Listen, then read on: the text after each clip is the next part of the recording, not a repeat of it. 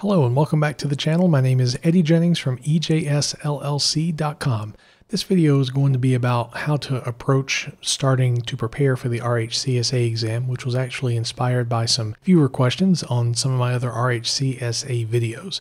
Before I dive in, I want to thank returning subscribers for watching another video and also want to invite everyone, if you have not subscribed yet, to make sure you click that subscribe button.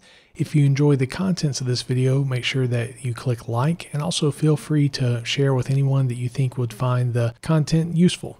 So without further ado, let's jump into some viewer feedback. So viewer Roger writes, Hi, my work requires me to get RHCSA certified. I have no prior experience with Linux other than using Ubuntu for regular home use, so practically I have zero to none experience. I bought a RHCSA RHCE Red Hat Linux Certification Study Guide 7th edition book and a couple of basic Linux books. I have started looking at a few videos on YouTube, but I'm kind of confused on how to move forward with this. What would be the best way to study and prepare for RHCSA? Any tips would be greatly appreciated. Thank you.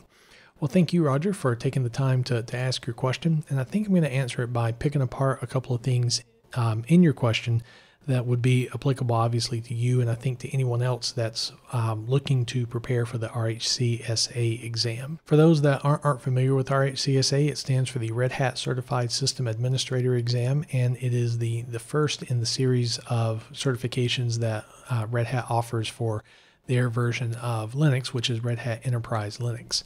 So the first thing I want to touch on is the fact that you have bought a Certification Study Guide 7th edition book. Now, I don't know if this book is referring to its seventh printing or its seventh edition, or if it's referring to the Red Hat Enterprise uh, Linux exams for RHEL 7. But the first tip I have for you is you want to study for whatever is the current exam or the, the current technology. You want to do this for two reasons. First of all, it'll prepare you for whatever new deployments of RHEL or whatever technology it is for, for which you're studying.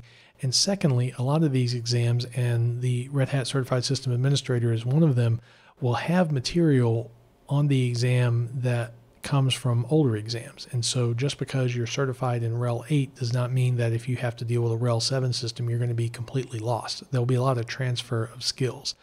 But for the exam, since I think it was um, October of last year, so October 2020 is when um, the RHEL 7 version of RHCSA was retired, you always want to prepare for whatever the current exam is. Now, if you're at a time where they're like transitioning to a new exam, perhaps you could consider doing the older exam, but still, even in that situation, I would I, I would highly encourage you to to work toward the, the most current exam. So as far as your, your study material that you have, you might need to make sure that it either is for the exam for RHEL 8 or um, get some supplemental material that, that would cover some of the objectives for uh, RHEL 8 that aren't there in the RHEL 7 exam. So the second part I want to focus on is your question of what would be the best way to study and prepare for RHCSA. Well, this there is no one single answer to it. It um, it depends a lot on what your your learning style is. If you're if you are a person that can like listen to lectures and take it all in then you know some video stuff may be helpful. If you're a person that can just read it in a book and then you know it great one thing that's special about the RHCSA exam is that it is a hands on exam. There is no multiple guess answering questions. You will be given a list of objectives and an environment in which to work, and then you have to do those objectives. As far as how, how you prepare, even if you're more of an auditory or visual learner or whatnot, you want to actually get your hands dirty and be configuring things.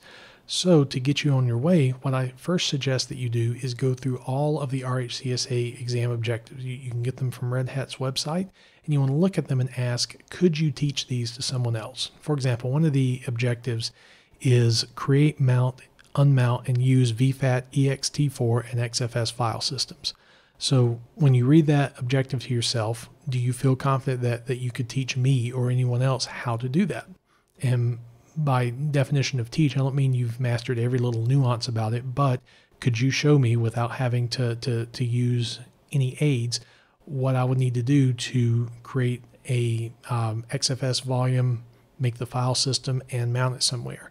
And if the answer is yes, then you probably know that objective pretty well. If the answer is no, then that that would be something on, on which that, that that that you're going to need to focus. And I will do that for all of the ob- objectives to kind of give you a um, base of, of where you are with your knowledge. And that might mean you know a couple of objectives. That might mean, hey, you actually know a good bit, or it might mean that you don't know anything about it.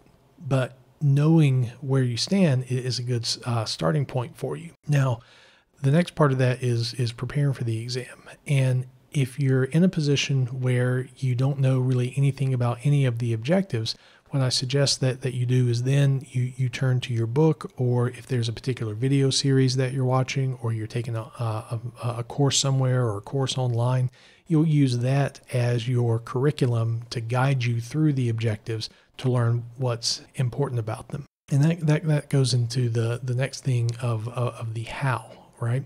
So what you're going to want to do are practice doing these tasks. Since this exam is an um, a task-based exam, you you need to know more than just kind of memorizing some commands. You actually need to do the things. So whether you're using your book or videos and such, if you're given some examples, do those examples in your own lab. And by lab, you don't need anything real extravagant, but just fire up a VM or so um, and just literally practice doing some of the stuff. That, that that's what I did, especially for some of the storage objectives when I was doing my own preparation that I wasn't prepared for.